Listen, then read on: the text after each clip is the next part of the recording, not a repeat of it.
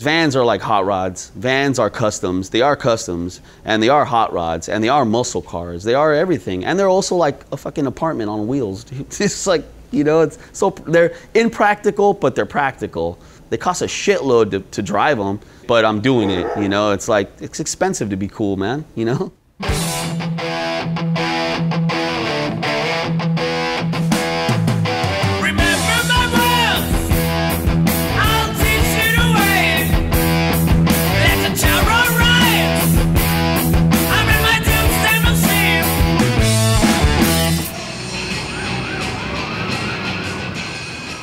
normally don't describe the Vandoleros to anybody. I just ask them to hang out, just come out and hang out, and then it pretty much kind of takes its own course from there.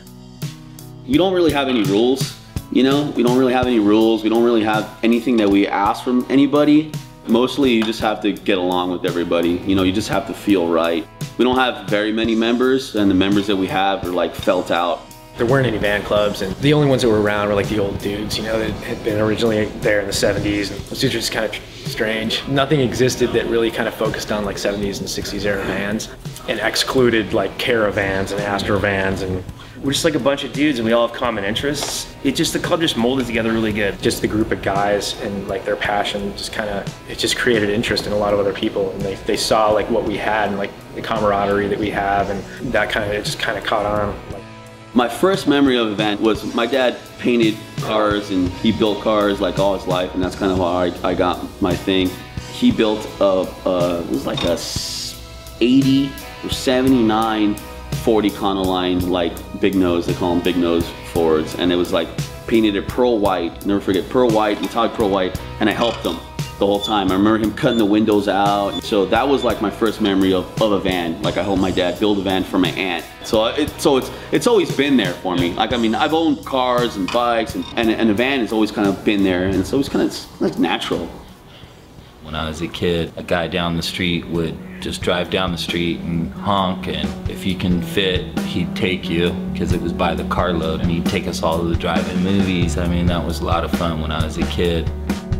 I bought my first van as a means of transportation that would haul my surfboards, haul my music equipment. It was cheap and it, it served a purpose. Having a van, it's like it's like you've got a, a fucking hot rod and you can camp in it. People are coming around, you know, they're starting to accept them and stuff. And I, I think it's part of hot rodding culture. It's part of, uh, you know, 70s culture. It's part of rock and roll. Like, so vans are fucking cool, like in the 90s, but, you know, it's just now that they're, you know, people are really, you know, I think because it's like you can put your fucking motorcycle in it, you know, you can camp in it, you can, you know, fuck your old lady in it. A lot of us in the club, we have um, a history in like the hot rod world or in, in the car culture world. And I think that if they're coming back into popularity, I think it's because people are tired of the street rod. People are tired of seeing the fucking $300,000 cars.